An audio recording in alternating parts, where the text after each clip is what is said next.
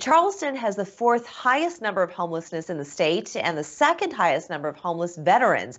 Helping to get people back on their feet is Denise Tolbert, CEO and Executive Director for the Village of South Carolina Homeless Shelter and Services, a grassroots effort to build a homeless shelter here in the Low Country. Thanks so much for joining us, Denise. Congratulations and thank you for doing such a wonderful thing for our community. Why did you decide that opening a homeless shelter was something that you wanted to pour your effort into?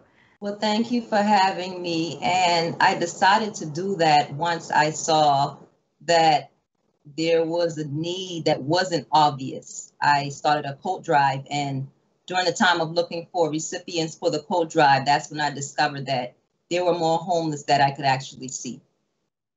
And I think there's over 300 homeless, even though it's it's difficult to count exactly how many people are homeless in the Low Country in the Tri County area, but. Uh, you know, you, you see them, you pass them on the street, you see them on the street corner, and there are few places for them to actually go. So, what do you plan on on using this this grassroots effort, the Village of South Carolina? How do you plan on getting them off the street and then into a better lifestyle?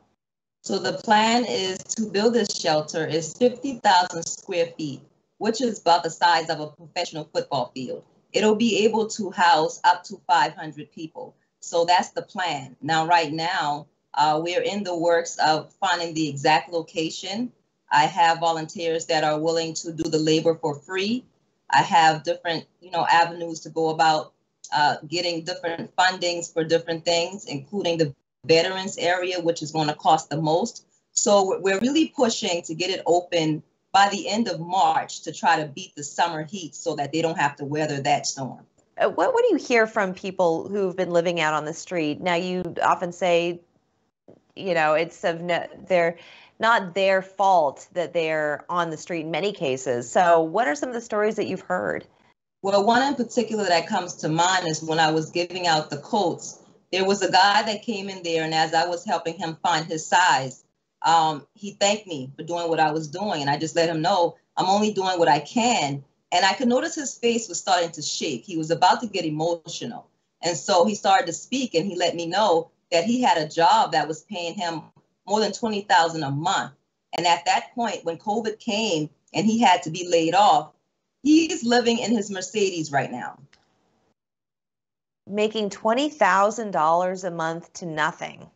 He's living in his Mercedes and he doesn't know, what to do. And it's just a situation where a lot of people are going through right now. And uh, have you ever experienced any level of homelessness yourself? I have, but not to the point where I had to be on the streets. You know, there's different phases of homelessness. There's three different kinds. You know, there's the kind where you're sleeping on someone's couch. There's the kind when you're on the street in abandoned buildings. You know, so there's different kinds, but never to the extreme of what we see going on in our city. Yes, and services are a little difficult to come by. I want to talk more about that uh, when we come back after the commercial, so don't go anywhere. We'll be right back. Welcome back. We're here with Denise Tolbert. She's CEO and Executive Director for the Village of South Carolina Homeless Shelter and Services.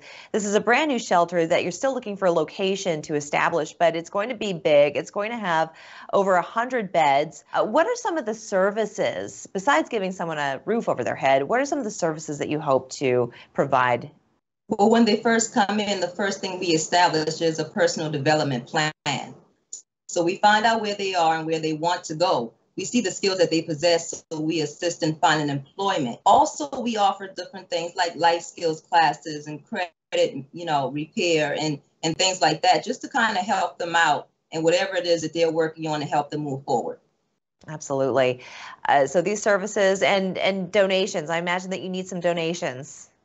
Definitely need donations at this time. On my website, we are accepting donations for different things. Um, I want to definitely build and design with dignity in mind because even though these people are homeless, they deserve dignity. So versus opening up a shelter where it's just wide open with cots on the floor, I don't want to do that. I definitely want to provide like, you know, walls in between areas and give them some sort of privacy so they could focus on getting rest at night so they can be prepared for the next day. That's a wonderful That's a wonderful thing to say. I think that when people think of a homeless shelter, they do think of these open, wide spaces where everybody's mixed together, that you don't have any privacy. It's very difficult to kind of get yourself in a mindset where you wake up the next morning and you're ready to take on the day and make a change. So we really we we applaud you for those efforts. Uh, you also have some positions open for people who can help further your mission. So what are some of the open positions that you'd like to fill right now? The main one I would really like to fill right now would definitely be fundraiser coordinators. I have a really strong fundraising campaign plan, but I definitely need help with that. Okay, and just marketing in general and uh, board of directors, I would imagine. So lots of different positions, and people will direct them to your website. But I want to thank you so much, Denise, for sharing your story with us and and this wonderful mission and cause.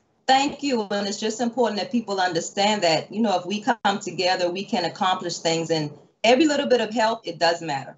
Amen. Thank you so much. We're back after this. Thank you.